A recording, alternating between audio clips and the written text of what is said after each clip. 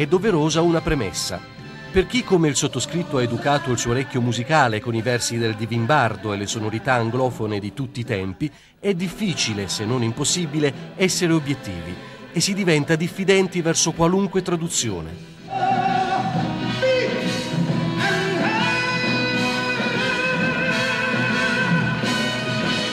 tanto più quando l'originale si avvaleva di interpretazioni memorabili come quella di Carl Anderson, prima della sua scomparsa, e di una presenza fisica e vocale mozzafiato come quella di Amy Stewart.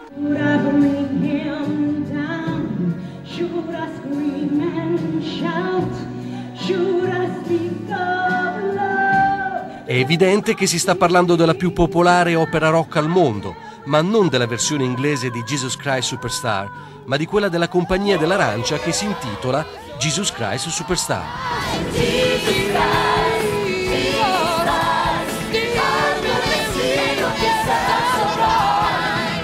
Eh sì, perché il titolo e il nome del protagonista in realtà è l'unica cosa a non essere stata tradotta.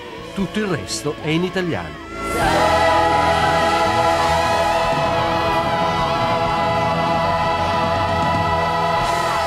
Diciamo subito che va guardata con ammirazione un'operazione così ardita, temeraria e originale.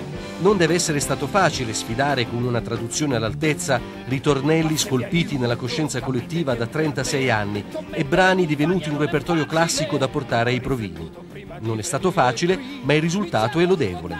Così come degno di nota è il tentativo di adattare l'ambientazione ai giorni nostri e a garantire professionalità, buon gusto e sapienza tecnica c'è l'esperienza della maggiore produttrice di musical in Italia, la Compagnia dell'Arancia.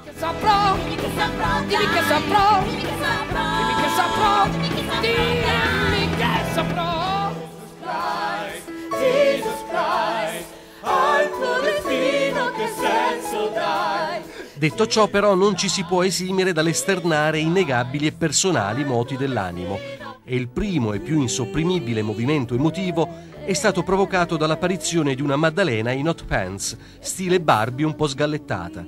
Sarà con ogni probabilità un problema individuale di sclerosi e di mancanza di elasticità mentale, ma sentire Maddalena cantare cerca di rilassarti, prova a calmarti, va tutto bene, la fa sembrare fuori luogo, fuori tempo e fuori senso calmarti, prova a rilassarti, tutto si risolverà.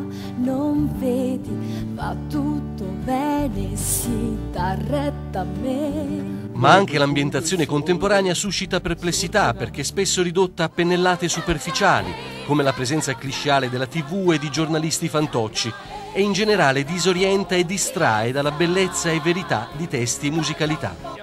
Fanno eccezione alcune invenzioni sceniche e coreografiche veramente incisive, come il tormento di Giuda riflesso in un gigantesco specchio, coscienza dell'anima, e la semplice ma efficace sequenza delle 39 frustate.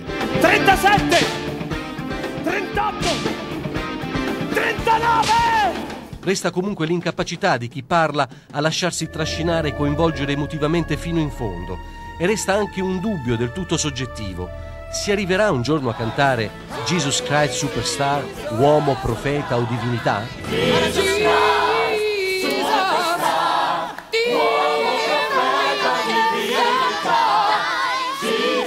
Ma in attesa che i posteri diano l'ardua sentenza, si preferisce chiudere con un'ultima concessione al piacere di un orecchio nostalgico e anglofilo.